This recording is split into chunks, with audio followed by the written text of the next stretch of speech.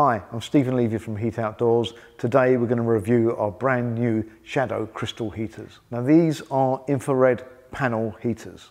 It's important to make a differentiation, although they are waterproof, they could be mounted outdoors, but because they operate with what we call long wave infrared, they're much better suited to an indoor environment. Now these heaters are something very, very special. If you look around the internet, you're going to see panel heaters, indoor heaters, using infrared heat. These heaters, they're panels in terms of they're flat, but they're made of glass, number one, so they look amazing. And number two is they achieve a temperature that a normal panel heater won't heat. So a conventional panel heater will go along the wall. It can't go to much more than 70, 80, perhaps 85 degrees, because the bottom line is you're going to burn yourself. So at that kind of temperature, they're going to heat the room in a very similar way to a conventional water-filled radiator. What we have here is something entirely different.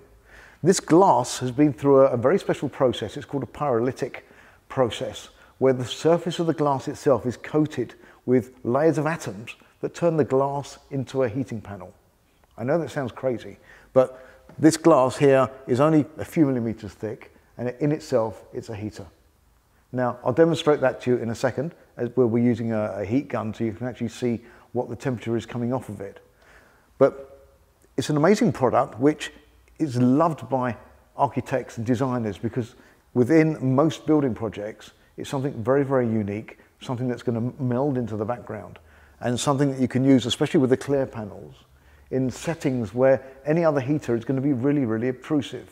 You've got a heater here, which in a historic setting um, is going to be loved by uh, conservation officers and people who don't want to clutter the building, but have what they call a counterpoint style of heating, i.e. something that's ultra modern in a building that's really, really old. So brilliant in that type of setting.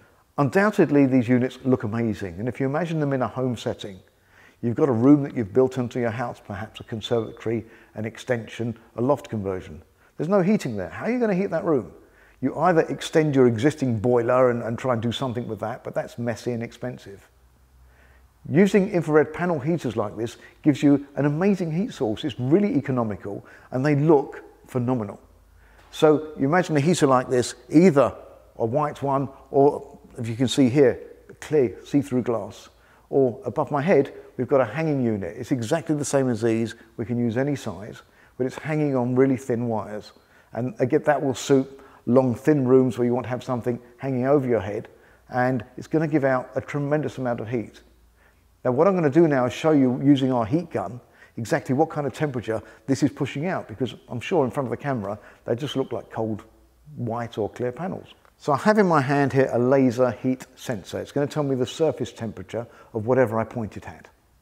Now this looks just like a cold white piece of glass. If I put the sensor on, turn it on and then take a temperature reading, we've got 170.2 degrees. This has been turned on for 15 minutes since we set up to start filming. That's a lot of heat, and at that sort of temperature, we're giving out real infrared waves that are come, come out and going to heat you as well as the air in the room around you. When you've got a normal radiator that's only going up to 80, 85 degrees, as I said earlier, that, all that is doing is heating the air, and that air rises and goes up to the ceiling. This you can put on the ceiling, like the heater above me, and it'll push the air, sorry, it'll push the heat down to you, not the air down to you. The obvious question to ask is, with these heaters giving out such a tremendous amount of heat and achieving a surface temperature of 180 degrees, what about the wall? What about the ceiling behind it? Surely that's going to get damaged. The answer to that is, it won't get damaged at all. The heater itself has got two layers of glass. The front layer is the one that's got the special coating on that pushes all the heat forwards. There's then a layer in between which acts as a buffer and another piece of glass behind. Now that stops the heat coming out the back and pushes it all forwards. To prove that point and to do it in one take for you, we'll do another shot of the front, 174 degrees at the moment. I'll then immediately do a shot of the wall behind it. It is 32 degrees. That's a massive te temperature differential between the front and the back. Behind this heater, it's completely cold. The wall is its normal temperature. All the heat is getting pushed forwards. And that's another reason why these units are so economical to use. In practice, how do we use the shadow crystal heaters? Well, we've got a range of sizes. They range from the one above my head here, which is 400 watts, The one on the wall here is 600 watts, and then this one below me is a kilowatt. We also do a 1.3 kilowatt in the glass version, so we've got a whole range of sizes which are suitable for all different types of environments. Generally, because of the heat of the surface temperature, we're going to recommend mounting above 2.3 meters. So no hands are going to be going near it, no one's going to be touching it, and then you've got an, an amazing heater. In terms of control, because they use relatively low power, they can be plugged into any conventional control. There's 101 different types of thermostats, that, that, some of which come on simple plug sockets. You plug them in, tell it what temperature you want, and the unit will then heat the room to that temperature and switch itself on and off automatically. That being said, we also offer our own options on the website. Please have a look at them, see if they're suitable for your type of setup. The final question you're going to want answered is, how many heaters do I need for the sort of space I've got? Now, a lot depends on factors like insulation, if you have any air movement in, in, in the room or the building where you are. But as a rule of thumb, we're looking at a one kilowatt heater is going to heat about 15 square meters. So approximately a room that's maybe three and a half or four meters by four meters um, in length and width, one of these heaters is going to be heating that quite comfortably.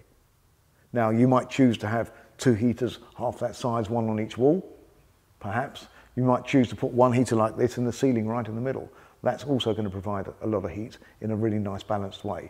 So it's really down to the shape of the room, whether you're hanging the heater like above or whether you're putting it on the walls as to how you're going to want to make up that amount of wattage that you're going to need.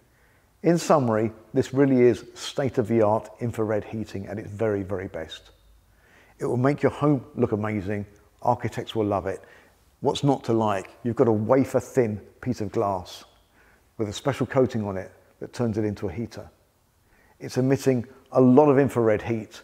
It'll heat a room really, really effectively. And as I say, I've said a hundred times, they look amazing. This is what I choose in my home.